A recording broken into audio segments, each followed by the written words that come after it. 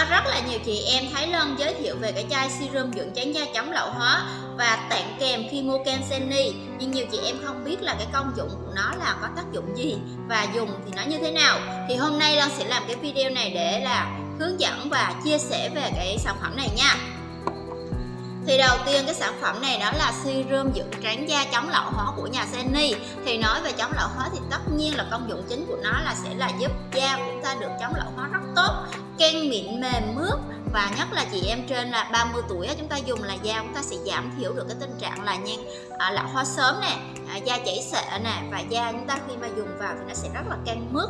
Và đặc biệt là khi mà chị em có thâm á, thâm thâm mụn để lại á, thì chúng ta dùng vào nó cũng sẽ rất là hiệu quả. Và chị em nào mà bị à, da khô á ví dụ như là mấy bữa nay là da lon nó bị khô này và lon thì không lon thì cũng lười dùng kem cho nên là lon sẽ dùng cái chai serum này là để cấp ẩm cho da khi mà lon dùng một hai giọt lên là là da lon biết đâu là nó không khô nữa. Da khô đến nỗi mà bị bong tróc luôn á cả nhà nhưng mà lon dùng cái chai serum này thì da không khô nữa và sáng ngủ dậy. Lon rửa mặt á, thì da rất là mịn luôn trời ơi rất là mịn mềm mướt luôn ấy.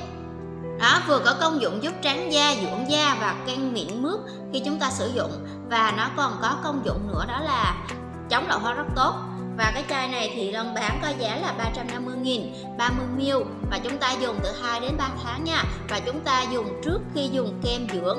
Đó là khi giờ chúng ta trước khi dùng kem dưỡng chúng ta dùng một hai giọt lên đi.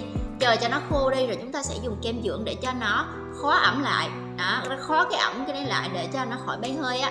Rồi chúng ta sẽ dùng vào ban ngày hoặc là ban đêm. Chúng ta có thể dùng cả hai cả ngày và đêm luôn cũng rất là tốt nha. Và khi mà mua kem Senni á, thì được tặng cái chai nhỏ như thế này đó chai nhỏ như thì nó không có khác gì so với chai lớn cả. Nó cũng là à, sản phẩm của của Senni hết serum giống nhau hết. Nó tặng với mục đích là cho chị em trải nghiệm cái sản phẩm này như thế nào. Có tốt không có ưng không thì chị em sẽ là mạnh dạng hơn để mua chai lớn này thôi. Chứ nó cũng không có cái gì hết. Chai này thì 10 ml nha.